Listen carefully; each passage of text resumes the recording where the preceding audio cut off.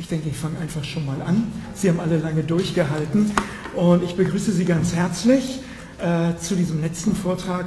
Heute nationale und internationale Perspektiven auf den Umgang mit Diversität.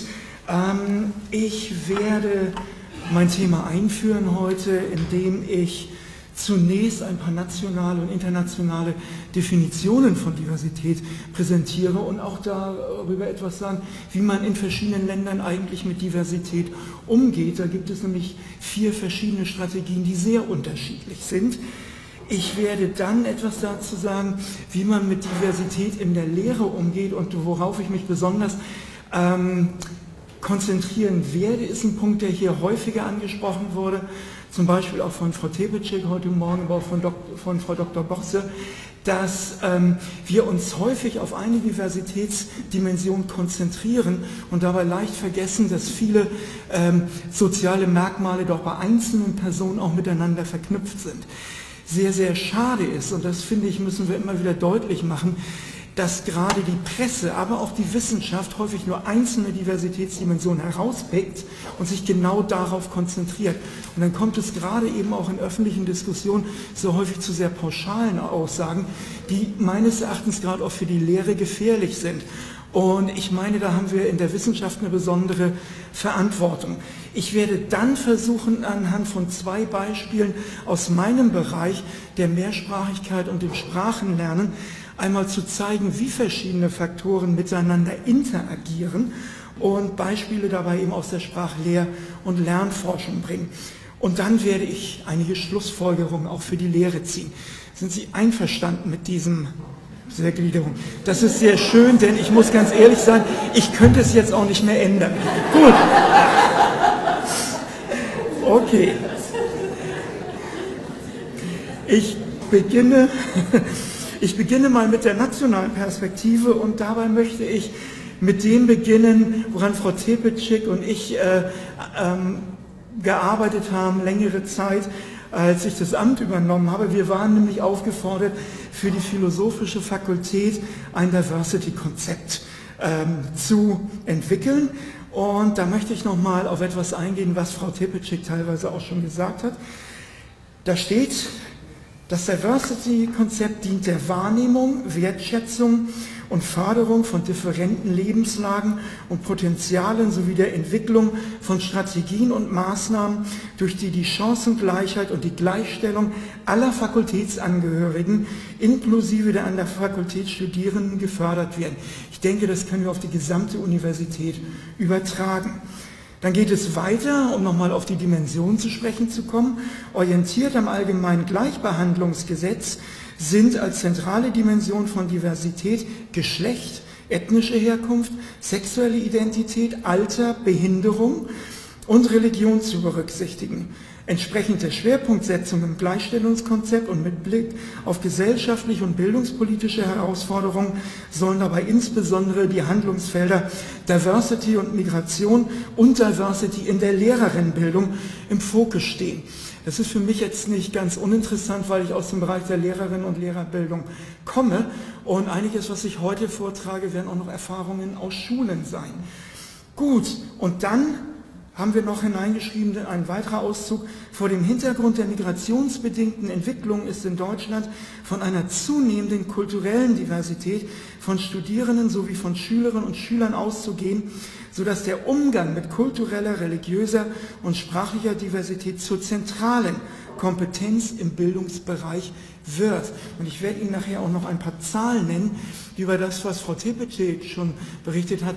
Ähm, hinausgehen und die zeigen dann, äh, wie wichtig diese Auf, äh, Aufgabe werden wird, mit sprachlicher und kultureller Diversität umzugehen. Schaut man sich internationale äh, Definitionen des Begriffs Diversity an, ist das sehr ähnlich. Ich habe hier mal eine Definition aus dem Longman Dictionary of um, Language Teaching and Applied Linguistics. Und da ist die Definition Diversity in reference to a group of learners or individuals in society the quality of, interessant, including, Inklusion, darüber haben wir nicht so viel gesprochen heute, of including people of many different ethnic, cultural and linguistic backgrounds of physical abilities. Da sind wir auch wieder bei Inklusion. Dann interessant, Entschuldigung, the move to recognize and promote cultural diversity is known as multiculturalism. Many countries contain minority groups of many different cultural, religious, and linguistic backgrounds, but promote only the culture of the dominant group in curriculum, teaching materials, the media, etc. Also irgendwo haben wir dann doch immer die dominante Gruppe und versuchen wir zu assimilieren letzten Endes. Okay? Interessant finde ich jetzt aber, das sollten nach dieser Definition Leute, die sich mit einer Diversitätsperspektive auseinandersetzen, eigentlich tun. Proponents of the status of diversity seek acknowledgement of cultural diversity throughout society, the encouragement of tolerance, the need to redress, wiedergutmachen letzten Endes, past discrimination against minorities and the creation of a more tolerant society. Das sind alles sehr, sehr schöne Ziele, die hier in diesem Wörterbuch genannt werden. Schaut man sich aber mal an, wie weltweit mit Diversität umgegangen wird, finden wir letzten Endes vier Positionen. Was Sie nämlich in verschiedenen Ländern finden, sind vier Arten, vier Strategien, wie man mit Diversität umgeht. Eine ist, Diversität wird ganz einfach ignoriert. Die Gruppen, die, die verschiedenen Unterschiede, die es gibt, werden ignoriert. Noch schlimmer ist es, wenn sie eine Art von Segregation haben. Ich hatte die Chance, mit Herrn Rachkoschkin in den letzten anderthalb Jahren zweimal nach Malaysia zu gehen, wo man wirklich versucht, an den Universitäten Leute unterschiedlicher Gruppen zusammenzubekommen. Aber sie haben dort in Malaysia vor allen Dingen Leute mit einem indischen Hintergrund, einem malaysischen Hintergrund und einem chinesischen Hintergrund. Die gehen fast alle an ihre eigenen unterschiedlichen Schulen. Für mich ist das schon eine Art von Segregation. Eine weitere Sache, ich denke, das ist das, was wir in Deutschland noch oftmals finden, ist diese Assimilation. Wir versuchen zwar Diversität wahrzunehmen, aber irgendwie versuchen wir sie auch alle irgendwie zu integrieren und so ein bisschen an das, was wir erwarten, ähm, anzupassen. Inklusion wäre anders. Hier versuchen wir die Eigenheit noch viel stärker wahrzunehmen und die Leute auch im Rahmen ihrer Möglichkeiten zu unterstützen. Das ist ein Ziel, dem wir immer mehr nachzugehen versuchen, wobei ich allerdings der Meinung bin, man sollte Menschen ähm, mit Behinderung beispielsweise auch die Wahl geben, äh, was für ein Angebot sie nutzen wollen. Da gibt es, ich habe viele sehr interessante Interviews gehört von Menschen mit Behinderung und haben gesagt, teilweise äh, kann, äh, möchte ich gerne in eine ganz normale Schule gehen, aber es gibt auch Leute, die sagen, nee, ich fühle mich wohler, wenn ich zum Beispiel an einer Schule bin, wo ich ganz speziell die Förderung erhalte, die auf meine, seien es psychische oder körperliche Probleme, bestimmte Förderung bekomme. Wie gehen wir nun damit um äh, mit der Diversität? Ich finde ein äh, Zitat eines Kollegen von mir, Engelbert Thal aus Augsburg, ganz gut. Er betont, da sind wir uns sicherlich einig, und das hat es heute auch hier sehr schön gezeigt, dass ein Einheitsunterricht nicht angemessen ist. Thaler schreibt, in jeder Lerngruppe, in jeder Schulform, das sind Schulen, Kitas meines Erachtens und Hochschulen, finden sich ganz verschiedenartige Lerner mit ihren ganz eigenen Bedürfnissen, Schwächen und Stärken. Ihre Heterogenität manifestiert sich in mindestens acht Bereichen. Alter, Geschlecht, Persönlichkeit, ist ein ganz, ganz wichtiger Punkt. Ist jemand extrovertiert, introvertiert, auch das müssen wir noch nehmen. Sie haben äh, psychologische Krankungen äh, gesprochen, das ist auch ein Persönlichkeitsmerkmal. Intelligenz ist auch eine Sache, mit der wir uns auseinandersetzen müssen. Kognitive Grundvoraussetzungen, Sprachbegabung, biografischer Hintergrund. Und das wurde heute Morgen dann auch angesprochen von Frau Bosse, Lernstile und Lernstrategien. Und dann sagt er, und das finde ich ganz wichtig, wer diese Verschiedenartigkeit akzeptiert und jedes Individuum in der Klasse optimal auf seinem Lernweg begleiten will, muss sich von dem Modell eines Einheitsunterrichts verabschieden, bei dem die gleiche Lehrkraft alle gleichaltrigen Schüler mit dem gleichen Material im gleichen Raum, mit dem gleichen Ziel und den gleichen Methoden im gleichen Tempo unterrichtet. Das finde ich sehr wichtig. Ich bin äh, aus der Spracherwerbsforschung und der Fremdsprachendidaktik und ich kenne das da sehr, sehr gut. Wir haben eine Klasse und es geht, gibt Englischunterricht und wenn im Bereich der Aussprache irgendwas gemacht wird, dann üben die Lehrerinnen und Lehrer kräftig das TH mit den äh, Schülerinnen und Schülern, weil wir als Deutsche notorisch dafür bekannt sind, das nicht zu beherrschen. Nun habe ich aber in der Klasse äh, Schülerinnen und Schüler mit arabischem oder griechischem Hintergrund, die haben diesen Laut und trotzdem müssen sie dieselben Übungen mitmachen. Das ist schlicht und einfach sinnlos. Und ich glaube, das ist etwas, was wir eben auch äh, an der Universität immer im Auge behalten müssen.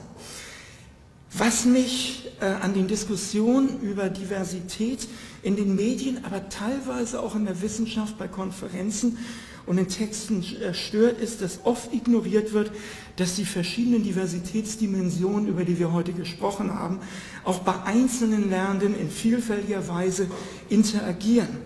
Gerade in den Medien wird oft die Bedeutung einzelner Faktoren für Lernerfolg betont und Lernende gezielt nur einer Gruppe zugeordnet.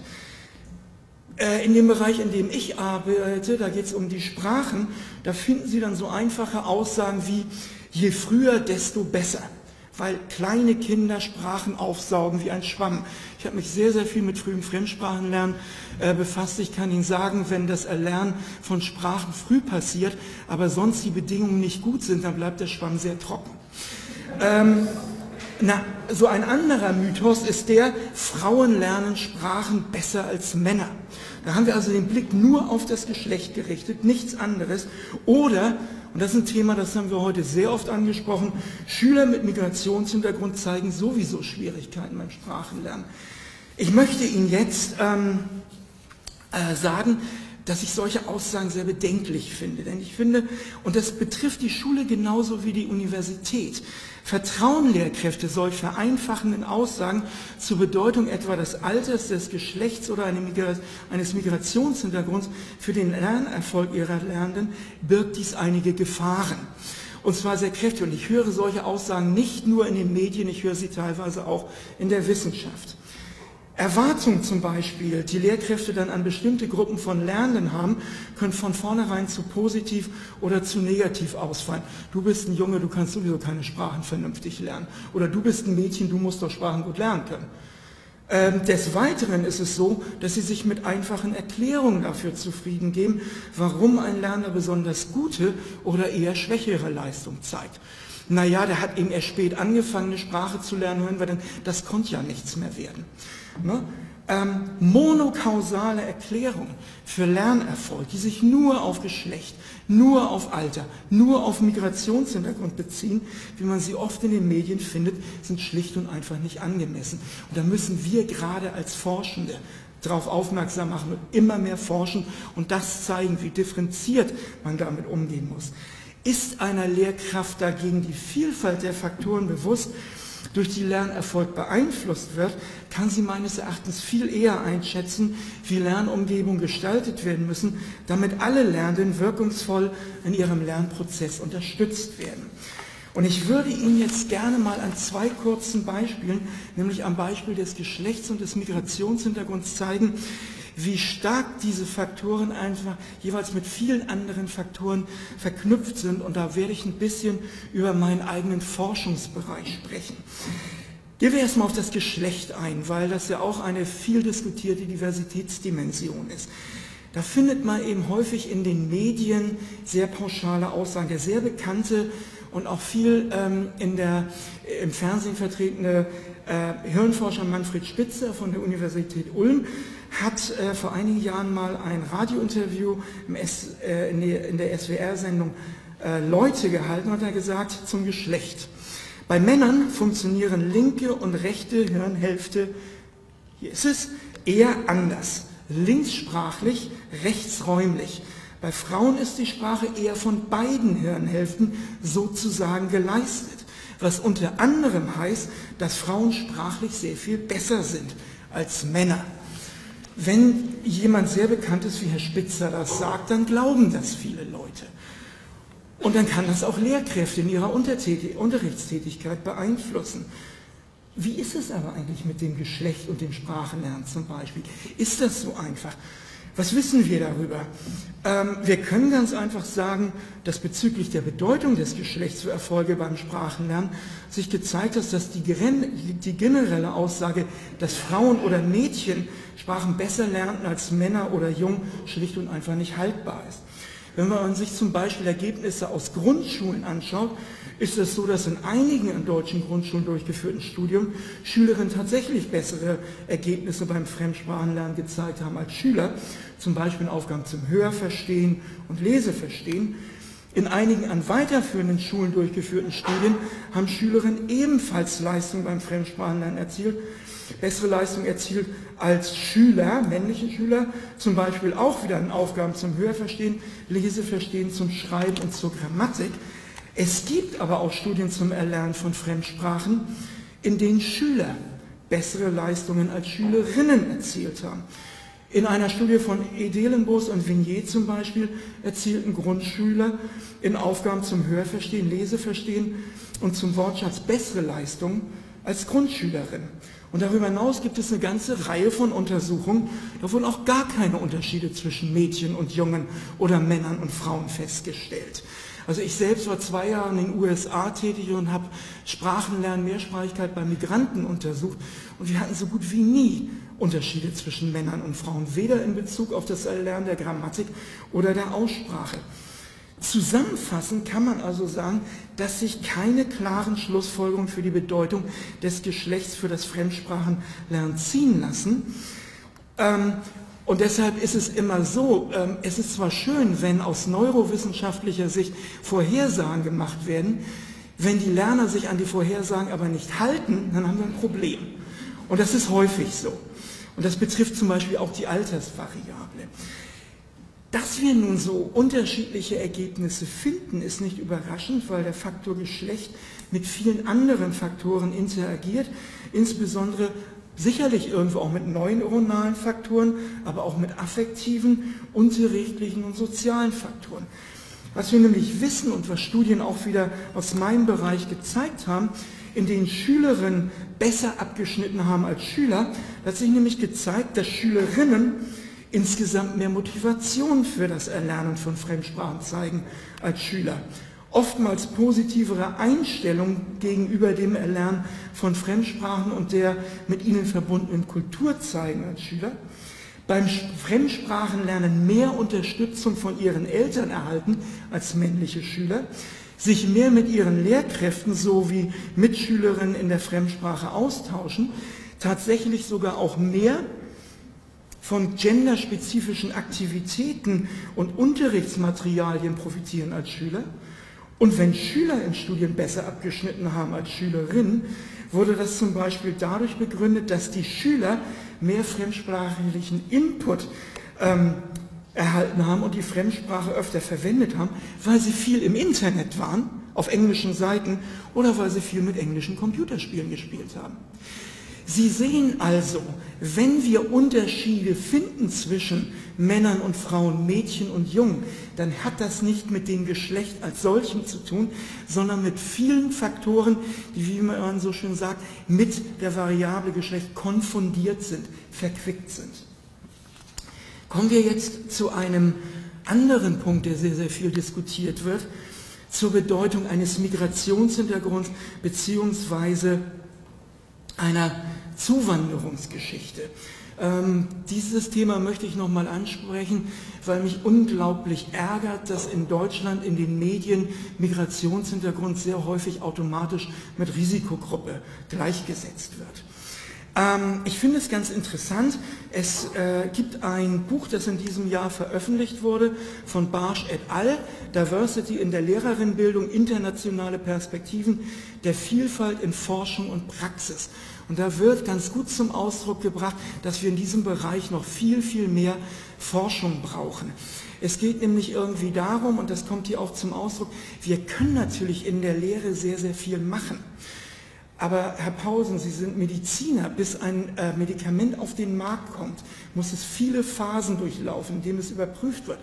Bei der Bildung ist es leider häufig so, jemand hat eine gute Idee, überzeugt die Politik und es wird eingeführt, ohne dass überprüft wird, ob es wirklich etwas bringt. Und meines Erachtens brauchen wir deshalb auch viel Forschung, ähm, was den Umgang mit Diversität angeht. Barsch al schreiben, derzeit liegen einem erweiterten Begriff von Diversität und den Implikationen dieses Begriffes für die Lehrerinnenbildung, für den deutschsprachigen Raum nur wenige Forschungen zugrunde. Im internationalen Kontext gestaltet sich die Forschungslage ausdifferenzierter. So wird etwa dem Thema Mehrsprachigkeit nicht nur im bildungswissenschaftlichen Kontext begegnet, sondern die damit verbundenen Implikationen werden auch in den Fachwissenschaften und Fachdidaktiken diskutiert. Diese Entwicklung steht in Deutschland etwa was das Forschungsfeld Deutsch für Schülerinnen mit Zuwanderungsgeschichte bzw. Deutsch als Zweitsprache betrifft, noch am Anfang. Was man jetzt zum Beispiel gerade ähm, wahrzunehmen beginnt, Herr Pausen, Sie hatten es heute Morgen auch angesprochen, Fachtermini beispielsweise. Und inwieweit können die Studierenden der Medizin mir denn überhaupt folgen? Ist, wie muss ich eigentlich Fachtermini heute unterrichten. Wir hatten ein Treffen ähm, im Ministerium zu Beginn des Jahres. Da hat ein Kollege aus Regensburg aus der Physikdidaktik berichtet, dass viele Studierende ähm, immer schlechtere, äh, nicht viele Studierende, sondern Schülerinnen und Schüler Physikleistung bringen. Und nicht, weil sie nicht begabt sind in dem Fach, sondern weil ihre Lehrkräfte nicht mehr in der Lage sind, sprachlich die Physik anschaulich zu erklären. Sie schaffen es sprachlich einfach nicht. Man muss sich da an unterschiedliche Grundleute anpassen. Nun finden wir gerade in diesem Bereich sehr, sehr viele pauschale Aussagen. Das hier ist eine Aussage von der Website des äh, Nachrichtensenders NTV, nicht gut genug für die Schule. Migrantenkinder sprechen kaum Deutsch. Und sowas findet man und das wird dann geglaubt und das wird dann gerne auf Erwachsene übertragen. Was wissen wir eigentlich über Personen mit Migrationshintergrund? Die Frage muss man erst mal stellen. Und da ist es mal ganz interessant, sich als erstes mal anzugucken, wer in Deutschland denn als Person mit Migrationshintergrund gilt. Und dafür haben wir ein statistisches Bundesamt und die müssen ja klare Kriterien haben. Und wenn Sie sich das mal anschauen, dann werden Sie merken, Migranten sind ganz schön viele. Einen Migrationshintergrund besitzen alle nach 1949 in das heutige Gebiet der Bundesrepublik Deutschland zugewanderten, nach dem Statistischen Bundesamt, sowie alle in Deutschland geborenen Ausländer und alle in Deutschland als Deutsche geborenen mit zumindest einem zugewanderten oder als Ausländer in Deutschland geborenen Elternteil. Das sind wirklich viele. Und deshalb ist es auch nicht überraschend, dass im Jahr 2015 20 Prozent der Gesamtbevölkerung und 35 Prozent, mehr als ein Drittel aller Kinder und Jugendlichen im Alter von 0, 0 bis 15 Jahren einen Migrationshintergrund haben. Und da merken Sie, wie wichtig das Thema dieser Veranstaltung heute ist, denn das sind über ein Drittel der Kinder und Jugendlichen im Moment und die kommen irgendwann auch an die Universitäten. Nicht unbedingt über ein Drittel, aber es werden immer mehr und auf die müssen wir uns einstellen. Was wissen wir jetzt aber tatsächlich, um auf diese äh, pauschalen Aussagen zurückzukommen, über die Deutschkenntnisse und auch die Fremdsprachenkenntnisse von, ich habe das hier mal übernommen, Migrantenkindern? Was ja auch kein besonders schöner Begriff ist, finde ich. Gut, schauen wir uns das mal an.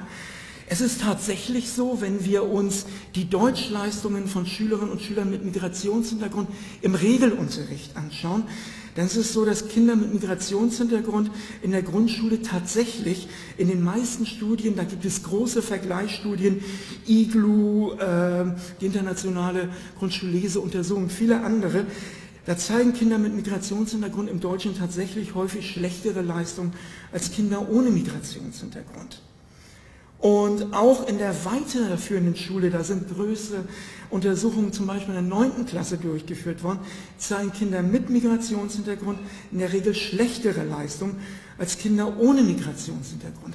Aber schon da müssen wir wieder vorsichtig sein, denn es hat sich in diesen Studien auch gezeigt, dass Kinder mit Migrationshintergrund, bei denen nur ein Elternteil im Ausland geboren wurde, ähm, in der Regel schlechter abschneiden als Kinder, bei denen beide Eltern im Ausland geboren wurden. Schauen wir uns dann mal die fremdsprachlichen Leistungen von Schülerinnen und Schülern mit Migrationshintergrund im Regelunterricht an, dann kippt das Bild. Es ist so, dass an den Grundschulen die Leistung, die sprachlichen Leistungen der Schülerinnen und Schüler mit Migrationshintergrund noch ein bisschen uneinheitlich bisher waren, vor allen Dingen in Bezug auf das Hörverstehen. Da ist es so, dass ähm, Kinder mit Migrationshintergrund in einigen Studien gleich gute oder bessere Leistung gezeigt haben als Kinder ohne Migrationshintergrund. In anderen Studien haben Kinder mit Migrationshintergrund aber auch schlechtere Leistung gezeigt als Kinder ohne Migrationshintergrund. Interessant ist, in der weiterführenden Schule, da hat man wieder Neunklässler getestet, haben Kinder mit Migrationshintergrund in der Regel gleich gute oder bessere Englischleistung oder fremdsprachliche Leistung gezeigt als Kinder ohne Migrationshintergrund.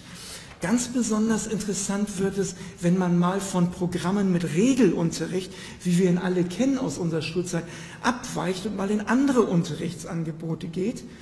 Und das haben zum Beispiel meine äh, Kollegin Anja Steiner und ich gemacht. Wir haben uns einfach mal äh, Schulprogramme angeguckt, in denen mehrsprachig gearbeitet wird und nicht nur einsprachig. Und wir haben uns die sprachlichen Leistungen von Schülerinnen und Schülern mit ähm, Migrationshintergrund in Deutsch, Englisch, bilingualen Angeboten angeschaut. Das sind Schulen, in denen verschiedene Fächer einfach in englischer Sprache unterrichtet wird. Zum Beispiel Mathe oder Kunst oder Biologie oder Sachunterricht.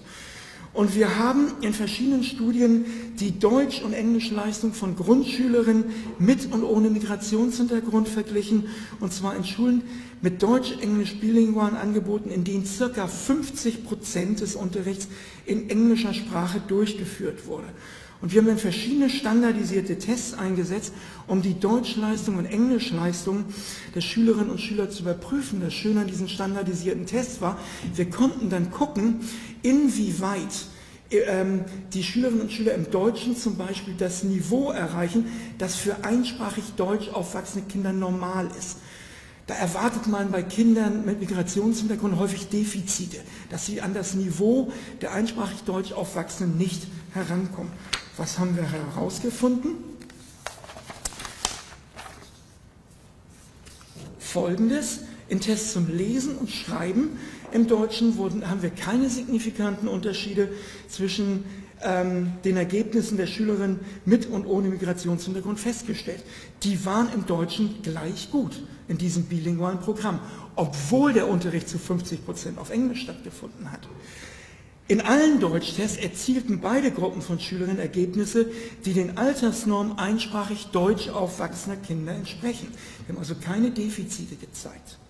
In Tests zum englischen Wortschatz und Grammatikkenntnissen ähm, zum Lesen und Schreiben im Englischen wurden ebenfalls keine signifikanten Unterschiede zwischen den Ergebnissen der Schülerinnen mit und ohne Migrationshintergrund festgestellt.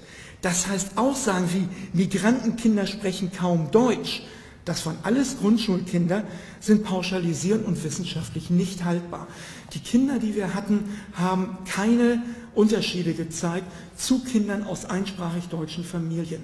Und das, obwohl 50 Prozent des Unterrichts in englischer Sprache stattgefunden hat. Die Lehrkräfte wussten aber, sie dürfen das Deutsche nicht vernachlässigen. Es kann nicht sein, dass man nur Englisch fördert. Das war ihnen immer bewusst. Und sie mussten dadurch, dass 50 Prozent des Unterrichts auf Englisch stattfand und es natürlich schwieriger ist für die Kinder, darauf achten, dass sie ganz besonders anschaulich unterrichten und sicherstellen, dass alle Kinder unabhängig von ihren Vorkenntnissen im Englischen, ihnen noch folgen können. Und ich glaube, diese Anschaulichkeit, die hilft Lernern sehr. Und diese Anschaulichkeit sollten wir auch versuchen, in der Hochschullehre umzusetzen. Gut. Ja, und gerade im äh, Zusammenhang mit dem Migrationshintergrund ist es ganz, ganz wichtig, dass wir uns auch hier bewusst machen, dass eine Variable wie Migrationshintergrund mit vielen anderen Variablen ähm, interagiert.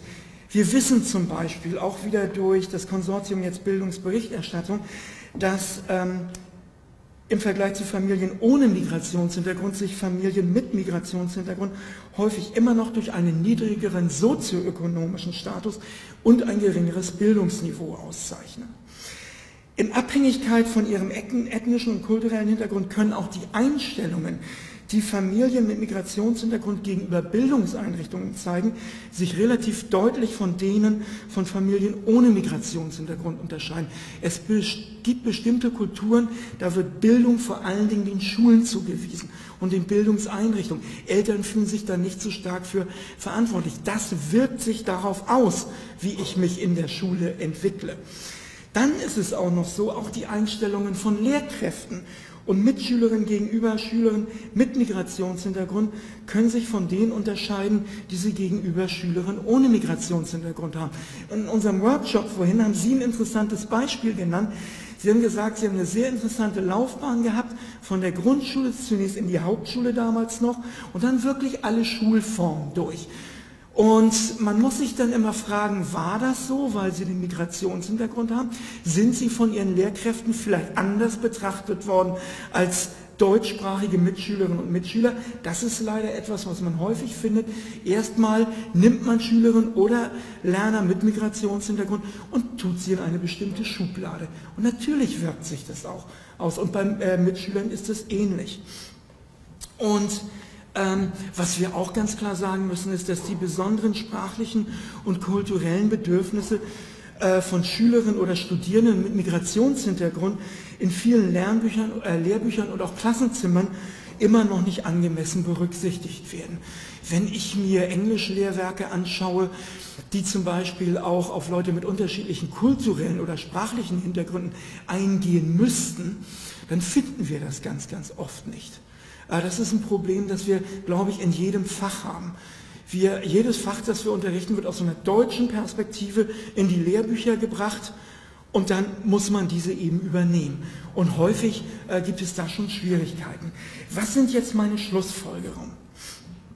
Ähm, nationale und internationale Ergebnisse haben also ähm, deutlich gezeigt, dass der Lernerfolg auch einzelner Lerner nie nur durch eine Diversitätsdimension bestimmt wird. Im Kita, Schul- und Hochschulkontext haben neben Dimensionen wie Geschlecht und ethnische Herkunft ähm, viele miteinander äh, interagierende Faktoren einen Einfluss auf Lernerfolg. Insbesondere, und ich denke, diese spielen immer eine Rolle, affektive und motivationale Faktoren. Das haben wir häufiger schon angesprochen heute. Einstellung, Motivation. Soziale Faktoren wie der sozioökonomische Hintergrund, Bildungsnähe einer Familie. Ganz wichtig, Unterstützung durch die Umgebung. Hilft mir meine, Fam hilft mir meine Familie, helfen mir meine Eltern. In der Schule ganz wichtig. Ähm, kognitive Faktoren, die haben wir heute kaum angesprochen. Verbale und nonverbale Intelligenz. Da haben wir Unterschiede auch noch zwischen Studierenden. Aufmerksamkeit oder auch exekutive Kontrolle. Wir haben also auch kognitive Faktoren, die für, zu Unterschieden führen können.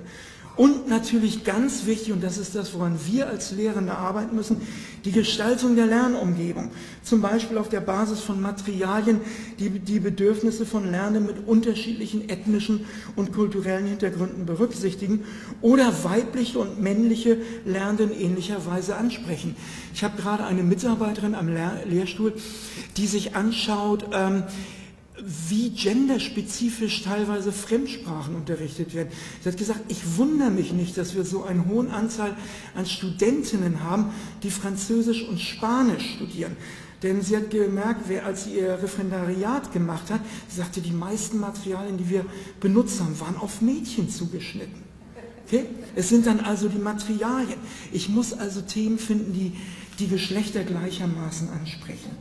Gut, ähm, somit stellt sich für mich eben auch die Frage, inwieweit es überhaupt angemessen ist, dass in Diskussionen über Diversität häufig nur einzelne Dimensionen wie Geschlecht, ethnische Herkunft oder Behinderung gesondert in den Blick genommen werden. Lehrende stehen heute gewöhnlich vor der Herausforderung, in ihrer Lehre ganz verschiedenartige Lernende in ihrem Lernprozess unterstützen zu müssen, verschiedenartig in unterschiedlichster Hinsicht. Und bei der Entwicklung von Lernumgebungen und Lehrmaterialien muss dabei immer vom Ziel her gedacht werden. Was bedeutet das? Wir können natürlich sagen, wir ähm, benutzen jetzt oder entwickeln Materialien, die möglichst viele ansprechen, aber das Ziel muss ein anderes sein. Zunächst muss die Frage im Vordergrund stehen, was sich die Lernenden erarbeiten sollen. In Medizin, in Physik, in den Geisteswissenschaften.